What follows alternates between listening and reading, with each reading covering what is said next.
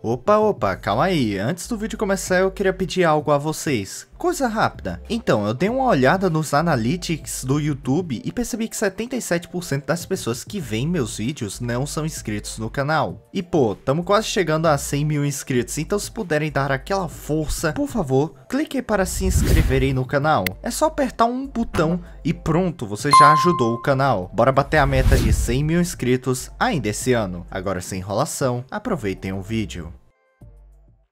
Fala aí, humanos alienígenas, aqui quem tá falando é o Pedro, e seguinte, no vídeo de hoje eu vou fazer uma tier list das frutas do Block Surts, que já é o terceiro vídeo que eu faço, mas dessa vez será uma tier list definitiva, pós update 16. E agora que eu comecei a ir PVP, eu comecei a mudar minha opinião sobre certas frutas. E também, graças ao feedback super positivo de algumas pessoas, eu também vou consertar alguns erros que eu cometi no meu vídeo anterior. Então, sem enrolação, bora lá. Mas antes eu vou explicar como que eu vou organizar as coisas. Primeiro eu vou analisar as frutas normais e depois eu vejo os awakenings, ok?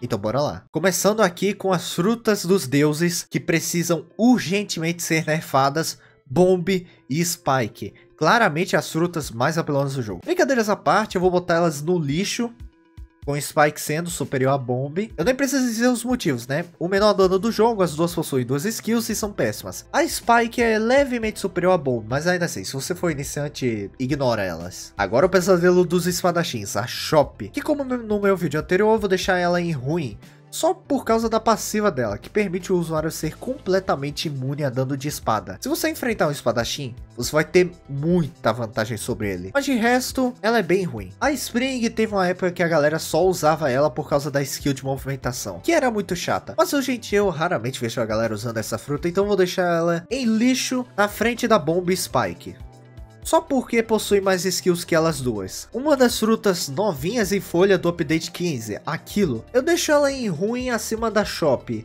Ela, ela tem seus méritos, mas é para iniciante apenas. A Smoke, eu vou deixar ela em ruim na frente da Kilo e Shop, devido ao fator logia. As skills são ruins, a galera só pega para poder farmar no primeiro mar. De resto, você joga fora nos primeiros 5 minutos. Spin eu vou deixar ela em ruim acima daquilo. As skills são bem ruins, mas você pode virar um helicóptero de combate, então já é bem melhor que qualquer outra fruta do jogo. Eita, botei errado. Pronto.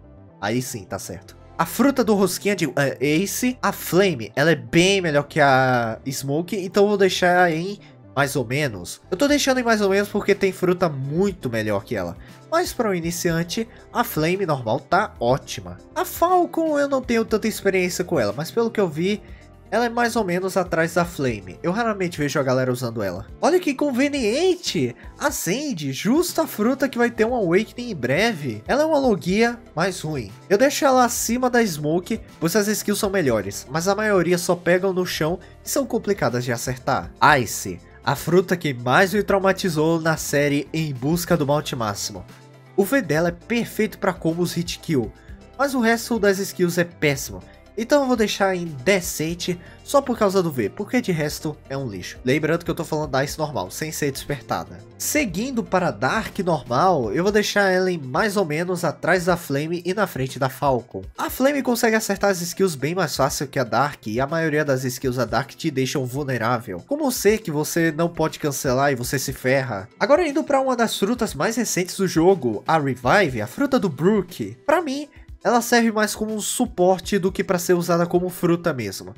Eu deixo ela indecente a, acima da Ice, pois você tem uma habilidade de stun que ajuda um pouco, e ainda por cima tem a capacidade de reviver com 50% do HP, o que para PVP é muito bom. E ainda por cima, você vira um esqueleto, que é algo mais que isso. A Diamond eu quase nunca vejo a galera usando ela, mas é uma fruta mais ou menos acima da Falcon e atrás da Dark.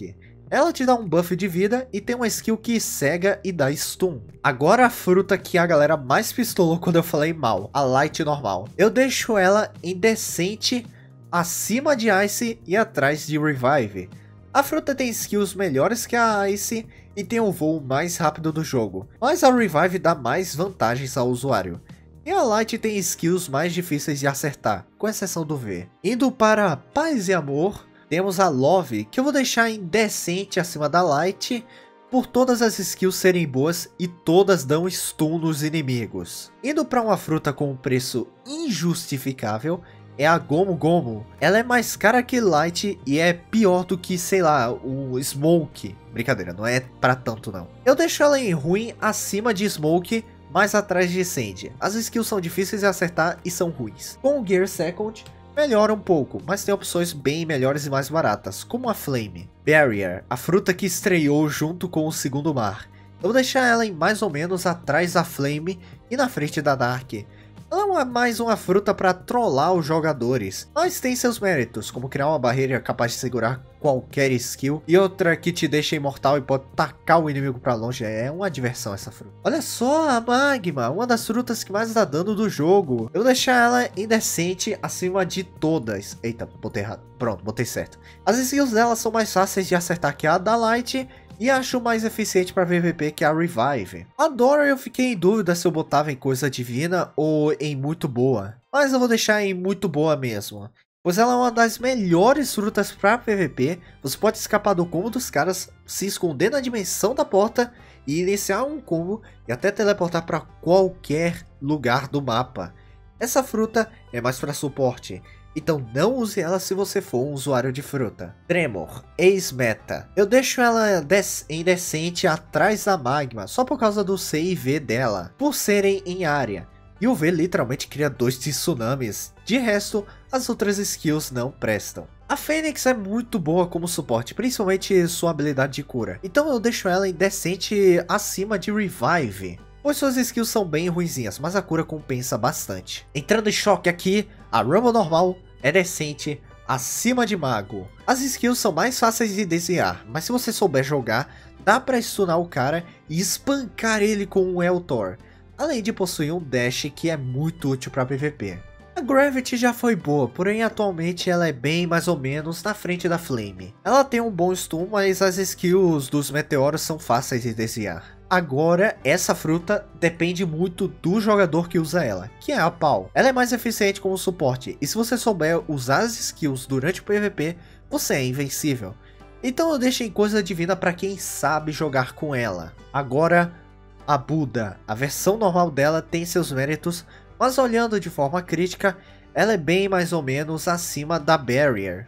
Lembrando, eu tô falando da Buda normal, ok? Calma, calma, não joguem pedras ainda o usuário fica lento e as skills são ruins, diferente do seu despertar que eu vou falar mais pra frente. String normal, não tem nem o que falar, ela é ruim acima de Sandy, as skills são horríveis de acertar, que você tem que ser um sniper de elite só para ter a chance de 5% de acertar a skill. Não é à toa que teve um merecido awakening. A fruta do amador de Donuts, a Dog, eu deixo ela em muito boa na frente de Dory, se você souber jogar com ela, você fica bem apelão. Todas as skills ajudam você no PVP. E você vira uma rosquinha. Tem algo melhor que isso? Agora, uma fruta recente. A Shadow. Eu vou deixar ela em muito boa acima da Doug.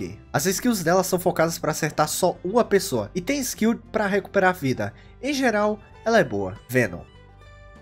Só Venom.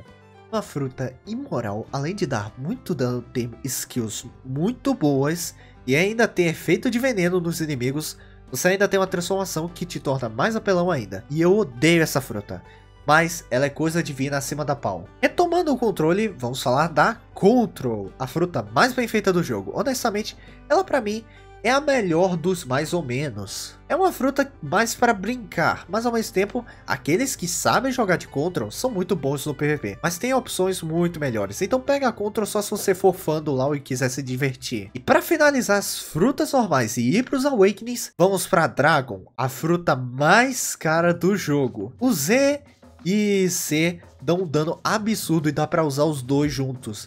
Na forma dragão, os ataques ficam mais fortes, tem uma hitbox maior e o X tem uma hitbox monstruosa. Em outras palavras, Dragon é uma fruta que não precisa de habilidade para ser bom, o que torna coisa divina como a fruta normal mais forte do jogo. Finalmente indo para os Awakenings, vamos começar com Flame. Ele fica em muito boa atrás de Shadow e na frente de Doug. Eu vi isso no episódio 11 de Em Busca do Malte Máximo. As skills dela são ótimas e super eficientes no PVP.